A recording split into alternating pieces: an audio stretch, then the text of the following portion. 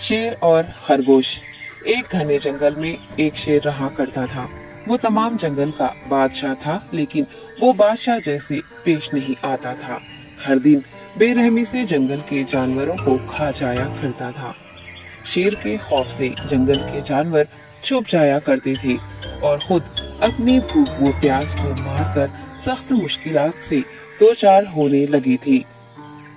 इस तरह कुछ दिन बाद जंगल के तमाम जानवर एक मुकाम पर जमा हुए और शेर के शर से महफूज रहने के लिए सब मिलकर राय मशवरा करने लगे सबने अपनी अपनी बात रखी और आखिर में एक गीदड़ ने कहा, मेरा ख्याल है कि हम रोज शेर के हाथों मरने के बजाय हम खुद एक एक बार शेर के पास चले जाएँ।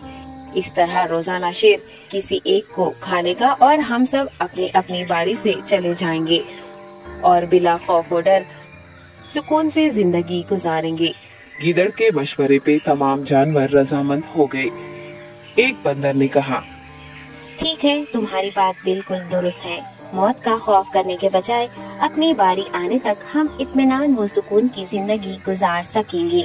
जानवरों की बातचीत मुकम्मल होने के बाद खुद गीदड़ ने शेर के पास जाकर ये सारी बात बताई। गीदड़ की बातें सुनने के बाद शेर ने कहा मैं बादशाह हूँ इसलिए तुम सबकी बात मान रहा हूँ।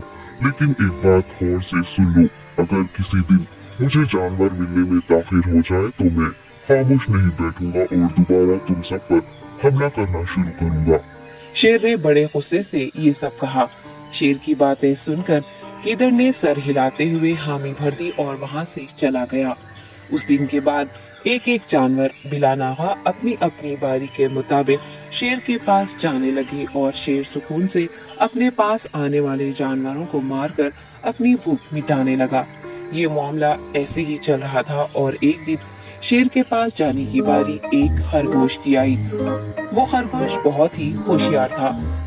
उसे शेर के पास जाना मंजूर नहीं था।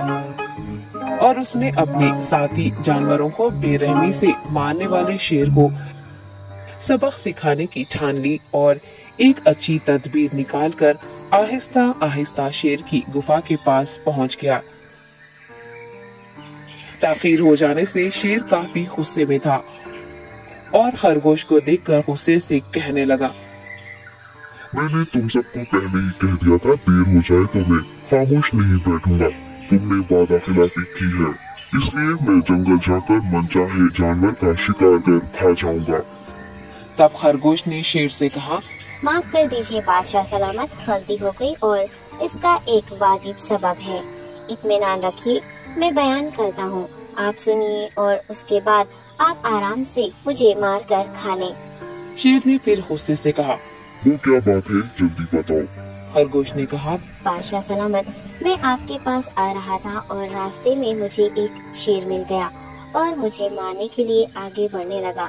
मैंने आपकी बहादुरी की बात उस शेर के सामने रखी, लेकिन वो शेर आपके बारे में बहुत बुरा भला कहने लगा। ये सुनकर मैंने गुस्से से कहा, तुम हमारे जंगल के नहीं हो।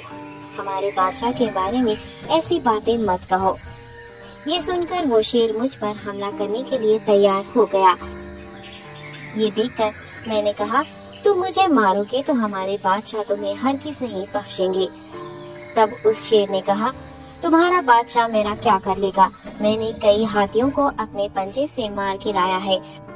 तुम्हारा बादशाह हो या कोई और हो, मेरे हाथों बच नहीं सकता और मेरे सामने कोई टिक नहीं सकता। मैं उसे खत्म करूँगा। ये सब बदतमीजी करने लगा।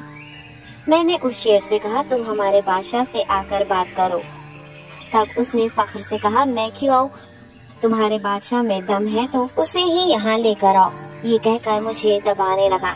बादशाह सलामत इसीलिए आने में ताखिर हो गई। ये सुनते ही शेर गुस्से से कहने लगा चलो अभी चलते हैं उसे खत्म कर दूँगा। ये सुनने के बाद खरगोश ने शेर को जंगल के दरमियान मौजूद एक कुएँ के पास ले गया। खरगोश ने कहा बादशाह इसके अंदर देखिए वो वहाँ आपका बेसब्री से इंतज़ार कर रहा है। आप उसे अच्छा सबक सिखाइए। शेर गुस्से से फ़ौरन कुएँ में झांकने लगा और ज़ोर से दहाड़ने लगा। तब दूसरी जानिब से भी दूसरा शेर दहाड़ता हुआ महसूस होने लगा। तब खरगोश ने कहा देखिए उसे कितना फख्र है आपको कैसे नीचा दिखा रहा है? ये कहकर वो शेर को जोश दिलाने लगा। शेर ने बिना कुछ सोचे समझे, उसे से फ़ौरन कुएँ में छलांग लगा दी। कुएँ में कोई नहीं था। शेर पानी में हाथ पैर मारता, कुएँ से निकल नहीं पाया और कुएँ में ही उसने दम तोड़ दिया। खरगोश ने अपनी अक्लमंदी से न सिर्फ़ अपनी हिफाजत कर ली, बल्कि तमाम जानवरों को शेर के खौफ से नजात दिलाई।